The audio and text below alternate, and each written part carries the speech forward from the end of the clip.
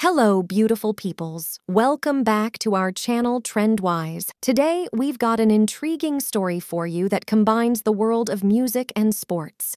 It's all about the incredible earnings of pop sensation Taylor Swift compared to NFL star Travis Kelce. Stick around to find out how Taylor Swift's concert ticket sales stack up against Travis Kelce's annual salary. Our story begins with none other than the pop sensation herself, Taylor Swift.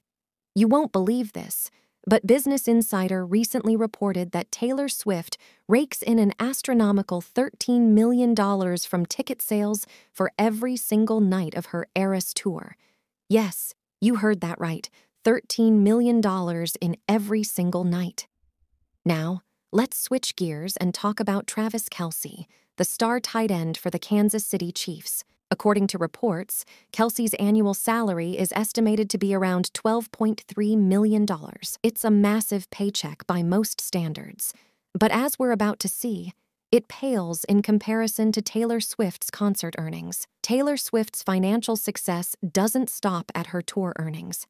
Her net worth is said to be around 740 million, and that number is likely to skyrocket soon. Why?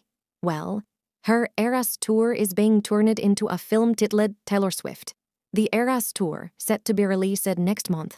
Forbes estimated that she earned a staggering 92 million in 2022. Travis Kelce, on the other hand, isn't just relying on his base salary. He's brought home some hefty bonuses, like the 157,000 he earned for winning the Super Bowl. But it doesn't end there.